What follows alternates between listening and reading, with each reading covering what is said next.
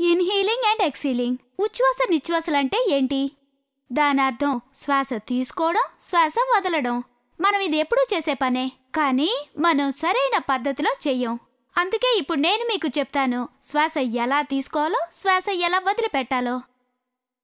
ఉచ్ఛ్వాస నిశ్వాస. రెండు కాళ్ళు దగ్గరగా ఉంచండి. రెండు చేతులు కడుపుపై ఉంచండి. శ్వాస తీసుకున్నప్పుడు కడుపుని బాగా సాగదీయండి. శ్వాస వదులుతున్నప్పుడు పొట్టని బాగా లోనికి లాక్కోండి.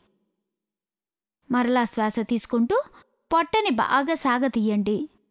శ్వాస వదులుతూ పొట్టని బాగా లోనికి లాక్కోండి. ఇలాగే చేస్తూ ఉండండి. గుర్తుంచుకోండి ఎప్పుడు శ్వాస తీసుకున్నా పొట్టని సాగదీయాలి. శ్వాస విడిచినప్పుడు పొట్టను దగ్గరకు లాక్కోవాలి. ఎలా అంటే మన బలూన్లోనికి గాలి ఊదితే ఎలా సాగుతుందో అలాగే దాని గాలి తీసేస్తే ఎలా దగ్గరికి అవుతుందో ఆ విధంగా. అదే మన బాడీకి కూడా వర్తిస్తుంది. మనం శ్వాస తీసుకుంటే పొట్ట సాగుతుంది. శ్వాస వదిలితే పొట్ట దగ్గరకు వచ్చేస్తుంది.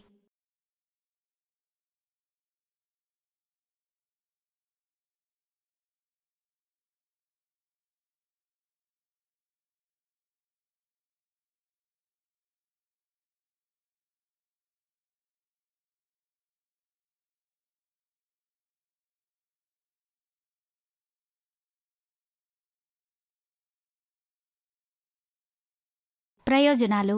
ఈ ఎక్సర్సైజ్ చేయడం వల్ల మీకు శ్వాస సక్రమంగా తీసుకోవడం అలవాటవుతుంది. మీ శ్వాస సక్రమంగా తీసుకుంటూ విడుస్తూ ఉంటే చాలా రోగాలు మీ దగ్గరికి చేరవు. ఇది యోగా మరియు ప్రాణాయామం చేయడానికి సులువవుతుంది. ఈ రోజులలో చాలా మంది పిల్లలు ఆస్తమా మరియు సైనస్తో బాధపడుతున్నారు. లేక చాలా తెలివైన వారిగా లేక బుద్ధిహీనులుగా ఉంటున్నారు.